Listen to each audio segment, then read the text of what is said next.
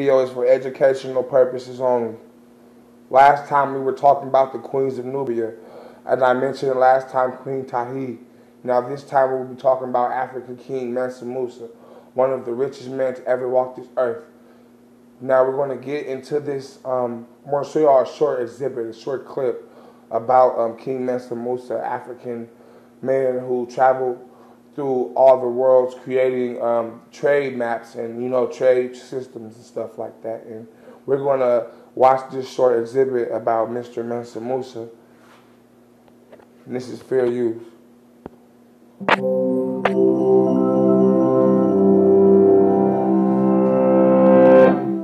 If someone asked you who the richest people in history were, who would you name? Perhaps a billionaire banker The richest people. like Bill Gates or John D. Rockefeller. How about Listen to what she just said. If someone asks you who was the richest people on this earth, who would you think of? Pay attention to what she says. The richest, the most wealthy. Listen, pay attention. You're gonna run that back. Again, this is fair use.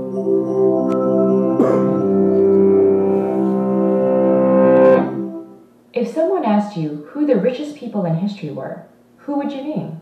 Perhaps a billionaire banker or corporate mogul like Bill Gates or John D. Rockefeller. No, How about African King Musa Keita I? Ruling the Mali Empire in the 14th century CE, Mansa Musa, or the King of Kings, amassed a fortune that possibly made him one of the wealthiest people who ever lived. y'all see it. Look at all that gold that black man standing on. you understand what I'm saying? This is in history. The richest man that ever walked this earth was a black man, and his name was Mansa Musa. Understand that? You feel what I'm saying? We're gonna give you a little bit history on, you know, my brother, ancestor, you know what I'm saying? Mansa Musa of the great uh, tribe of riches and wealth. But his vast wealth was only one piece of his rich legacy. When Mansa Musa came to power in 1312, much of Europe was racked by famine and civil wars. But many African kingdoms and the Islamic world were flourishing, and Mansa Musa played a great role in bringing the fruits of this flourishing to his own realm. By strategically annexing the city of Timbuktu and bringing the fruits of flourishment to his own land. Have y'all ever seen um, coming to America when they say the man's got his own money? That's basically what they're saying because where he come from is royalty. He created. Nobody gave anything to him. You know what I'm saying? They they um they um he he earned it. You understand what I'm saying? And they be calling us all these words like niggers. And look, this was a rich river, a tradeway to where how he got his riches. The nigger is rich. Look, river nigger. This is the motherfucking river that got him trillions of dollars. They're calling us niggers, so we must be wealthy, right? Because these are the lands of the trademarks of which he traded his goods to get his money, his billions. These are called the rivers of Niger. You see what I'm saying? These are the richest rivers ever to this land. Pay attention. He's from the Mali Empire, from Timbuktu. If the boys got his own money, man, listen. this is how he kept his money too. Pay attention. This man right here can teach you a lot. Re-establishing power over the city of Gao, he gained control over important trade routes between the Mediterranean and the West African coast. The rivers, you see? continuing a period of expansion, which dramatically increased Mali's size. Dramatically. The territory of the Mali Empire was rich in natural resources, such as gold and salt. The world first witnessed the Mali was rich with gold and salt. This is where we came from. This was ours. We already came from wealth. We came from money. Our lands were rich with gold and salt. This is this is what was already here before us. He grew up in a land that was full of minerals. And those two minerals was salt and gold. You see what I'm saying? And they didn't steal it from nobody. You feel me? They didn't work for it. It was theirs. They owned it. It was from their land. You understand what I'm saying? Pay attention. He got the whole world in his hands. That's symbolizing of God, the Almighty, the most wealthiest.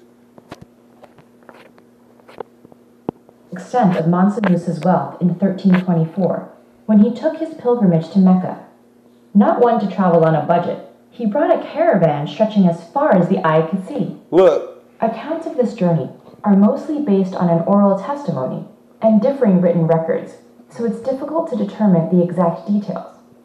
But what most agree on is the extravagant scale of the excursion. Chroniclers describe an entourage of tens of thousands of soldiers, civilians, and slaves, 500 heralds, bearing gold staffs and dressed in fine silks, and many camels and horses bearing an abundance of gold bars. Now, he's on his way to, to Mecca, right? This is what he came with. He came with thousands of people carrying thousands of gold. Just imagine how much gold this is. This is what they brought for them on the trip. This ain't, this ain't, imagine what they got at home. This is over 100 people carrying tons of thousands and trillions of dollars worth of gold all through America America, all through the European lands. You understand what I'm saying?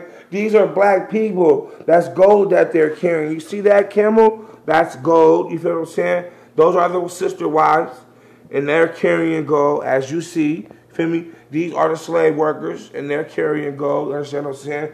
These are the uh, the sister wives, the more sister wives. Understand what I'm saying? And these are the royal priestess carrying and leading and guiding the way.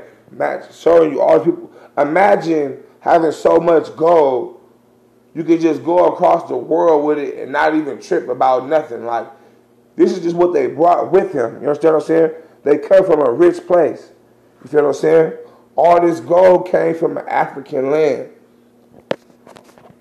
Money is not real. American money is something that comes from a tree. You understand what I'm saying? But gold, they used to use gold as currency because gold don't deteriorate. Money is something you can make up and print anything on. You understand what I'm saying? But gold is, is wealth from God. Uh, a hundred dollar bill and stuff, that's wealth from man.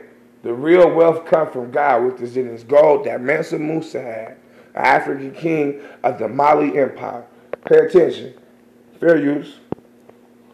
Stopping in cities such as Cairo, Mansa Musa is said to have spent massive quantities of gold, massive. giving to the poor buying souvenirs, and even having mosques built along the way.